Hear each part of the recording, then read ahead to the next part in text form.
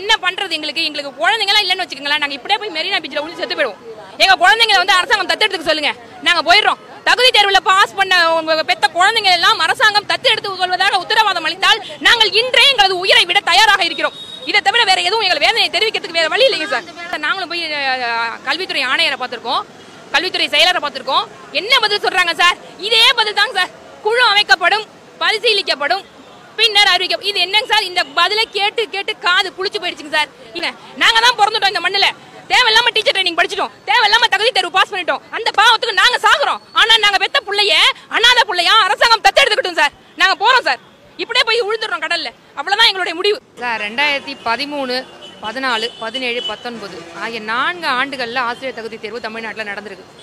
பன்னிரெண்டாவது ரெண்டாயிரத்தி பன்னெண்டில் ஒரு தடவை நடந்தது. அதில் பாஸ் பண்ண அத்தனை பேருக்குமே போஸ்டிங் போட்டாங்க.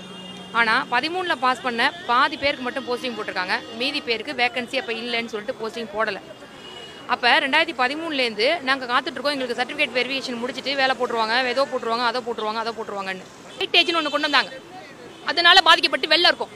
வெயிட்டேஜ் முறை தப்பு தவிர எங்களுக்கு பிடிக்கல சார். எங்களோட நாங்கள் பாதிக்கப்படுறோம் பாதிக்கப்படுறோம் பாதிக்கப்படுறோம்னு சொல்லி ரெண்டாயிரத்தி பதினெட்டில் கடந்த அரசாங்கமானது அந்த வெயிட்டேஜ் முறையை ரத்து பண்ணாங்க. ரத்து பண்ணிட்டு அதை விட ஒரு கொடுமையான ஒரு ஜீவோவை கொண்டு போட்டாங்க சார். ஒன் ஃபார்ட்டி நைன்னு சொல்லிட்டு மறு நியமன தேர்வா. நாங்கள் டுவெல்த்து முடிச்சிருக்கோம் அதுக்கப்புறம் டிடெட் முடிச்சிருக்கோம் டிகிரி முடிச்சிருக்கோம் பிஎட் முடிச்சிருக்கோம். இதெல்லாம் அதுக்கு அதானில தகுதி தேர்வும் பாஸ் பண்ணியிருக்கோம் இத்தனை தகுதியும் பத்தாது. நீங்க டீச்சர் போஸ்டிங் போகணும்னா நியமன தேர்வுன்னு ஒன்று எழுதணும்னு சொல்றாங்க. ரெண்டாயிரத்தி பதினெட்டுல ஜீவோ போட்டாங்க சார். அதை எதிர்த்தும் நாங்கள் குரல் கொடுத்துட்டு இருந்தோம். ஜீவோ போட்டதோடு சரி. அதுக்கப்புறம் அவங்க எக்ஸாம் எதுவுமே கான்டாக்ட் பண்ணல. கண்டக்ட் பண்ணல. இந்த போன அரசாங்கம். ஆனா அந்த ஜியோ போட்டப்பயே தற்போதைய முதலமைச்சர் இருக்கக்கூடிய மாண்புமிகு முதல்வர் ஐயா வந்து எதிர்க்கட்சி தலைவரா இருந்தார். எங்களுக்கு குரல் கொடுத்தார். இந்த ஜியோ நூத்தி நாற்பத்தொன்பது ஜியோ மறு நியமன தேர்வுங்கிறது சமூக நீதிக்கு எதிரானது. அது இந்த மக்களை சாகடிக்கிறதுக்கு சமம். கவலைப்படாதீங்க. ஆசிரியர் சமூகமே கவலைப்படாத. நான் கழக ஆட்சி அமைந்த உடனேயே உங்களுக்கு தகுதி தேர்வில் தேர்ச்சி பெற்றவங்களுக்கு நல்ல நீதி கொடுக்குறேன் அப்படின்னு சொல்லி ஆசிரியர் கல்வி படித்தவர்கள் ஒட்டுமொத்த எதிர்காலத்தையும் இருள் சூழ வைக்கக்கூடிய ஒரு அரசாணைய இதயமற்ற முறையில வெளியிட்டு இருக்க அரசாங்கம். எனவே அதை திரும்ப பெற்றிட வேண்டும் என்று நான் தொடர்ந்து கூறிட்டு இருக்கிறேன் உங்கள் பக்கம் திமுக என்றும் துணையாக நிற்கும். ஆகவே கவலைப்படாதீங்க.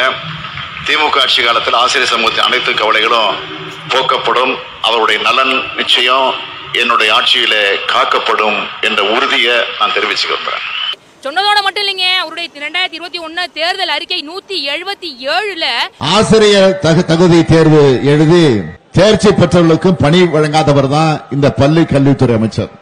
அதனாலதான் திமுக தேர்தல் அறிக்கையில சொல்லி இருக்கிறோம் நாம ஆட்சிக்கு வந்தவுடன் அத்தனை பேருக்கும் பணி வழங்கப்படும் அப்படின்னு அறிவிச்சு சொல்றீங்க. கஜானா காலியா இருக்குன்னு சொல்றீங்க. நாங்க உட்கார்ந்தா இருந்தோம் ஒன்பது மாசமா. ஆனா போன வாரம் பதினஞ்சு நாளைக்கு முன்னாடி இந்த டிஆர்பி போர்டு ஒரு ஆனுவல் பிளானர் வெளியிட்டிருக்காங்க.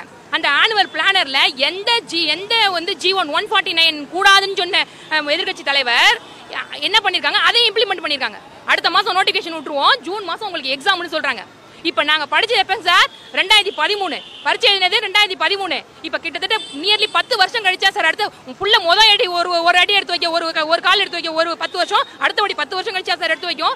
இதே நியமன தேர்வை எங்களுக்கு அந்த ரெண்டாயிரத்தி பதிமூணுல வச்சிருந்தா நாங்க பாஸ் பண்ணிட்டு உள்ள போயிருப்போம் சார். வேலைக்கு போயிருப்போம். எங்களுடைய பத்தாண்டு வாழ்காலம் என்னாச்சு? ஒரு மனுஷனுக்கு சராசரி வாழ்நாள் அறுபது ஆண்டுகள். எங்களுடைய காலம் பாதி காலம் முப்பது ஆண்டு காலம் படிக்கிறதுலே போயிடுச்சு. வேலை தேடுறதுலே பாதி நாள் போயிடுச்சு. சமூக நீதி காவலரே. சமூக நீதி காவலரே. இதுதானோ சமூக நீதி? நம்பர் ஒன் முதல்வரே. நம்பர் ஒன் முதல்வரே. இதுதானோ நல்ல ஆட்சி ரத்து சாய் ரத்து சாய். ரத்து சாய் ரத்து சாய். தற்காலிக ஆசிரியர் பணி நியமனத்தை ரத்து சாய் ஆசிரியர் பணி நியமனத்தை ரத்து சாய் ரத்து சாய் ரத்து சாய் ரத்து சாய் ராசிரே நன்றி. இது தொடர்பா கடந்த அக்டோபர் மாசம் கூட நான் அரசுக்கு இது சம்பந்தமா கண்டனம் தெரிவிச்சு அறிக்கை வெளியிட்டு இருக்கிறேன் வேலை வாய்ப்பகங்கள்ல பதிவு செஞ்சுட்டு பத்து லட்சம் ஆசிரியர்கள் காத்துக்கிட்டு இருக்கிறாங்க ஆசிரியர் தகுதி தேர்வில் வெற்றி பெற்றுவிட்டு ஏழு வருஷமா தேர்வில் ஏழு வருஷமா வேலை இல்லாம திண்டாட்டிக்கிட்டு இருக்கிறாங்க அவங்களுக்கு வேலை வழங்க முடியாத நிலையில் அதிமுக அரசு இருந்துகிட்டு இருக்கு.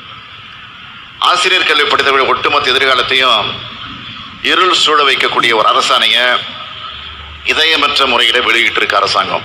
எனவே அதை திரும்ப பெற்றிட வேண்டும் என்று நான் தொடர்ந்து கூறிட்டு இருக்கிறேன். உங்கள் பக்கம் திமுக என்றும் துணையாக நிற்கும். ஆகவே கவலைப்படாதீங்க.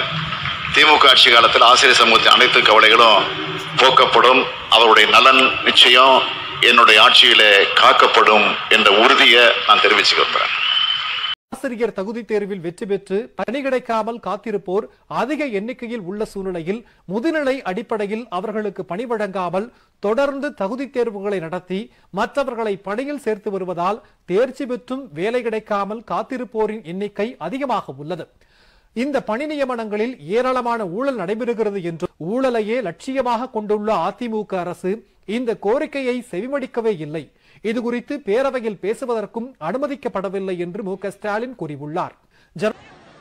ஆசிரியர் தகு- தகுதி தேர்வு எழுதி தேர்ச்சி பெற்றவர்களுக்கும் பணி வழங்காதவர் தான் இந்த பள்ளி கல்வித்துறை அமைச்சர். அதனாலதான் திமுக தேர்தல் அறிக்கையில் சொல்லியிருக்கிறோம் நாம ஆட்சிக்கு வந்தவுடன் அத்தனை பேருக்கும் பணி வழங்கப்படும் அப்படின்னு அறிவிச்சிருக்கிறோம். எதிர்க்கட்சித் தலைவர் மு ஸ்டாலின் உண்ணாவிரதத்தில் ஈடுபட்டுள்ள ஆசிரியர்களை சந்தித்து தனது ஆதரவை தெரிவித்தார்.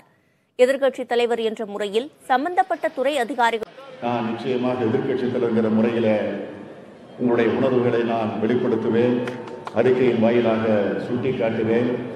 தேவைப்பட்டால் சம்பந்தப்பட்ட அதிகாரிகளோடு சம்பந்தப்பட்ட அமைச்சர்களோடு தேவை என்று சொன்னால் தொலைபேசியிலும் அவர்களோடு நான் தொடர்பு கொண்டு Mani, dovolite, vadite, vadite,